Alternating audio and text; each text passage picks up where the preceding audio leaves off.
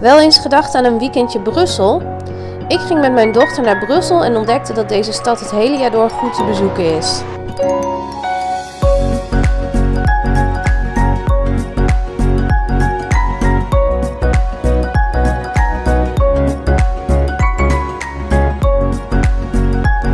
Natuurlijk gingen we naar het Atomium, we bezochten Mini-Europa en gingen naar de Grote Markt. Maar het leukste was volgens onze dochter toch wel het kindermuseum.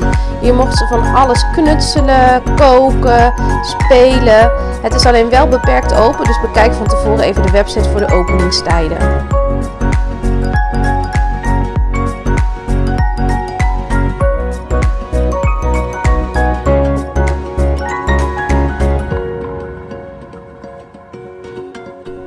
Ook het Museum van de Natuurwetenschappen mag je echt niet missen. Met enorme dino's en heel veel leuke dingen om te doen.